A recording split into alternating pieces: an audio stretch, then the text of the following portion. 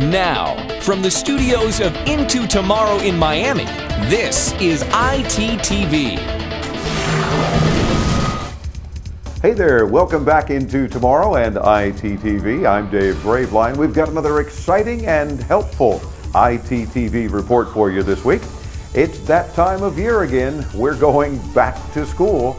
A recent survey showed that parents are cutting back on plans to purchase electronics during this school year's shopping season. Only one quarter of parents surveyed said that they'd buy computers, phones, and other electronic products for their children this year. But we've chosen a few products that may not break your bank too much. And stay tuned for a special Kids Tech report with some back to school apps in a couple of minutes. But first, Rob is up next with our top choices for some back to school gear. Thanks, Dave. Summer vacation may be ending for some, but you know what makes students feel a lot better about going back to school? New gear, especially tech stuff. Computers are always a must, either a new desktop or a laptop, but you don't have to buy a new computer every year. If your budget doesn't allow for a replacement, why not upgrade the brains? You can buy more RAM, increase processor power, and of course, upgrade to the latest operating system if you haven't yet.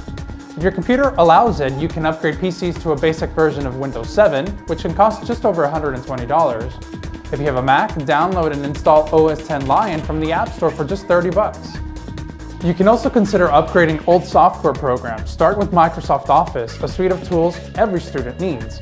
The latest student version can be bought for about 120 bucks for PCs and about 150 bucks for Macs. If your computer needs a facelift, you can buy skins for it. You can try skinit.com, one of my favorites, or gelaskins.com. Make your own or browse their gallery and choose one that best fits you. That's a very inexpensive way to make your older gadgets appear to be new. Tablets seem to make it on almost every wish list these days, and helping with school is no different. If your expenses allow, here's what we recommend. This budget-friendly Acer Iconia A500 is a good choice. There are several similarities between the Iconia and the Motorola Xoom. It runs the latest version of Android Honeycomb, currently 3.1, has dual cameras, a 10.1-inch HD display, Wi-Fi connectivity, and the best part, a full USB port. That's something we haven't seen on popular tablets like the iPad or the Xoom. It also has another advantage, the price. We found it online for just under 400 bucks. That's $100 less than the basic iPad 2 model. The only downer is the weight. It's one of the heaviest ones out today. If you can splurge, then the latest tablet in town is the first 4G LTE capable in the US, the Samsung Galaxy Tab 10.1, named 10.1 for the size of the screen. This one is one of our most favorite Android tablets. It's thin and can really compete with the iPad 2. Verizon sells it for about $530. What we love about these tablets is that they can be used to entertain kids of all ages and enrich their education with educational apps. And you don't have to buy tablets for each child. Teach them to share and take turns. By the way, stay tuned for some great apps for students coming up later in this episode. Keep in mind that tablets are not laptop replacements, but they complement each other very well. And if a tablet is not something you want for the kids, there are plenty of laptops available for the same price. Both Tiger Direct and Newegg have laptops under 400 bucks. We hope you enjoyed this year's back to school budget friendly guide. Stop by intotomorrow.com where we'll list more picks and link you to them. Meantime, back to Dave. Thanks, Rob. That's just some of the tech you can consider buying this year for your kids. What do you think?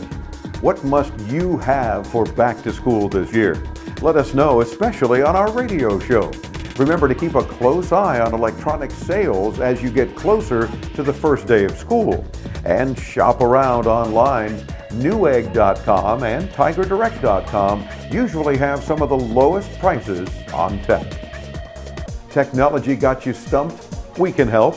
Participate on our radio show and win prizes for doing so. You can ask us any consumer tech questions or offer your opinions. Use our free apps for iPhone or Android, or call us toll free 24 7 from anywhere in North America 1 800 899 INTO. That's 800 899 4686. It's time for This Week in Tech History, where Chris reminds us of the introduction of a popular way to listen to your favorite music. Here's a hint it's still around. This week in 1877, Thomas Edison wrote the president of the telegraph company in Pittsburgh, Pennsylvania. The letter stated that the word hello would be a more appropriate greeting than ahoy, as suggested by Alexander Graham Bell when answering the telephone. This week in 1915, Charles F. Kettering of Detroit, Michigan patented the electric automobile self-starter. And it's a good thing he did, or we'd still be cranking our cars by hand. This week in 1937, the first FM radio construction permit was issued. It went to W1XOJ in Boston, Massachusetts. And this week in 1982, the first compact discs, or CDs, were released to the public in Germany. That's our look back at This Week in Tech History. Thanks, Chris. I wonder how long until CDs become extinct. Do you still carry CDs and players instead of digital music players like an iPod, for example? Leave us your comment here or call in. Do you have a small business with IT needs? NewEggBusiness.com is making information technology simple with their everyday low prices. Visit NewEggBusiness.com for their latest promotions on electronics. Once you know, you Newegg. Our youngest tech reporter is starting fifth grade this school year. Caitlyn's up next with some of her favorite apps for back to school. Take it away, Caitlyn.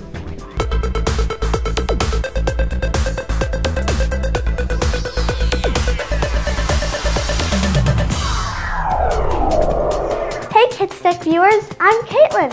Thanks for joining us again. Most of us are excited to start getting ready for school. I know I am.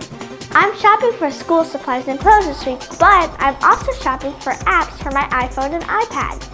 If you or your parents have any of these devices, I'm going to show you some of my favorite apps for us students, and most of them are free. The e-flashcards from McGraw-Hill are very helpful for us to learn new words or terms in subjects like math or science. You can quiz yourself by guessing the word after reading the definition, or reading the definition and then answering correctly. You can keep track of how many terms you got right and which ones you missed. Aww. Some of the flashcards have audio and read the word and definition. This app is available on the iPhone but can also be used on the iPad, and you can add more flashcards to your app for free.